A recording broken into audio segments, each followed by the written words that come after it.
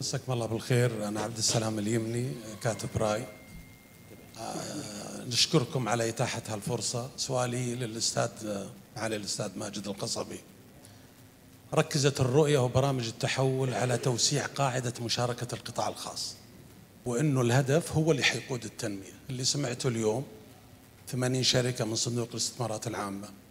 كل يوم أرامكو تعلن لنا مشاريع وسابق تعلن مشاريع. وين وين القطاع الخاص؟ كيف حيقود التنمية؟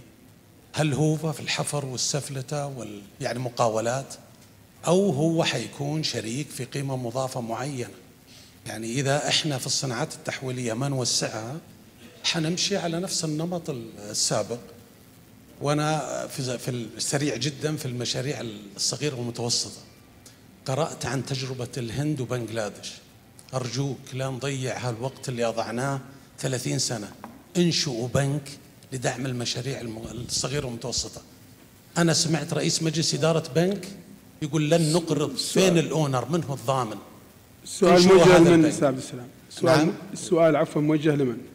الأستاذ ماجد القصبي طيب، شكراً انشئوا البنك وداخل الصندوق لدعم الصناعات التكنولوجية حتى. شكرا جزيلا. تفضل. ما في شك أن المنشآت الصغيرة والمتوسطة هي المحرك الأساسي لاقتصاد أي دولة. ومثل ما قلت في حديثي السابق إن حنا أغفل أغفلنا هذا القطاع سنين عديدة وعقود عديدة. اليوم عملنا استراتيجية للمنشآت الصغيرة كيف تشارك كيف تنظيم أسسنا الهيئة.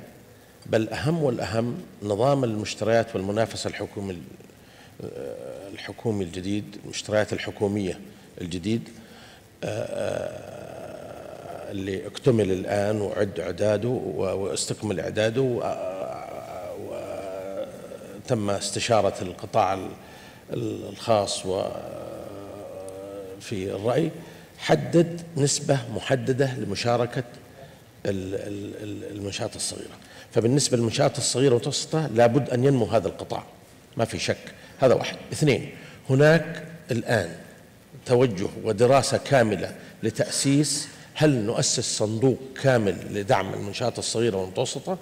أم حنا عندنا الآن أسسنا صندوق اللي هو رأس المال الجريء برأس مال 2.8 مليار الآن أعلن وضمن الحوافز وخصص له المبالغ بالتعاون مع آه، صندوق الاستثمارات العامة. فهذا جاري دراسة نأسس بنك مستقل أو صندوق مستقل رغم أنه في موافقة من المجلس لتأسيس هذا الصندوق ولكن جدوى الصندوق ومن هو الشريك المعرفي والشريك الخبير لتأسيس هذا الصندوق الطرق ثلاثة بالنسبة للقطاع الخاص ما في شك في الثلاث سنين اللي فاتت قد يكون هناك فعلا صار في انكماش صار في فترة. الآن في إنفاق مثل ما قلت إنفاق رأسمالي إنفاق استثماري وإنفاق تحفيزي. يعني كامل الأوراق. الآن وال 72 مليار اللي أعلنت لتحفيز القطاع الخاص. بالإضافة إلى برنامج ريادة الشركات الوطنية اللي أقوده أنا الآن. هذا البرنامج يستهدف إلى دعم الشركات الوطنية الرائدة. استهداف 100 شركة. إحنا تواصلنا مع 400 اوريدي نستهدف 100 إنها تروح عالمية. والدولة ستدعم هذه الشركات في شرائها واستحواذها في إعطائها قروض في تمكينها من الخروج إلى أسواق عالمية وذلك ليش؟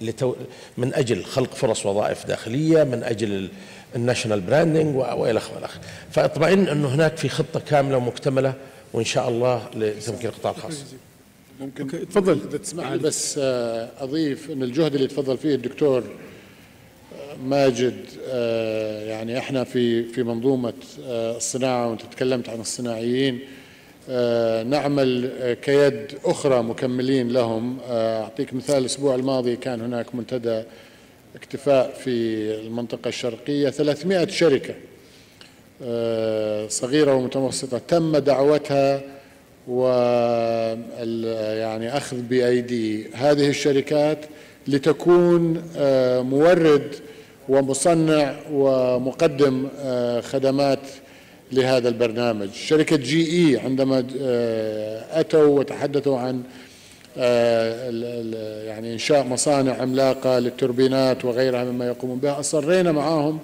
أن يكون هناك سلسلة إمداد من الموردين ودعوا مورديهم من جميع أنحاء العالم بما في ذلك من المستثمرين السعوديين من صغار ومتوسطي المستثمرين لإنشاء سلاسل الإمداد. فعندنا عمل مشترك مع آه، هيئة المنشآت الصغيرة والمتوسطة ومع وزارة الاستثمار ومع القطاعات الأخرى ومشروع صندوق كفالة لدعم آه، هذه الشركات. فأكد لك إحنا مش مركزين فقط على سابك وأرامكو في منطقة صناعية كبرى.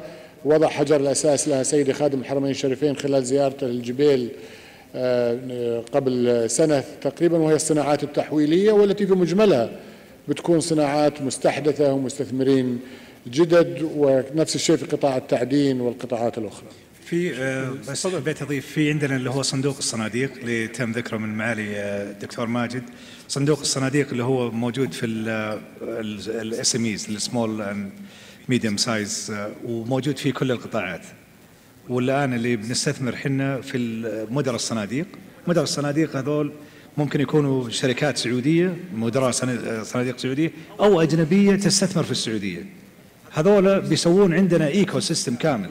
بالنسبة لل لل للي يبغون يبتدون في الأعمال venture capitalist موجودين جايين للمملكة وبيعطوا تشجيع جدا كبير بالنسبة لل للمستثمرين الجدد. إضافة لذلك آه، على ما أعتقد وزارة التجارة جالسة تنظر إلى الأنظمة اللي هي تحط ضمانات للأنتربرنورز هذول ولا بالنسبة للمستثمرين الجدد اللي موجودين. فبالتأكيد ما إحنا ناسين القطاع الخاص. القطاع الخاص ماشيين معه وحنا جالسين نحاول نحفز القطاع الخاص. لأنه الإنفاق الحكومي شيء جزء واحد من معادلة الناتج القومي المحلي. الآخرين لابد يكونوا موجودين والقطاع الخاص هو العصب الأساسي للاقتصاد الوطني.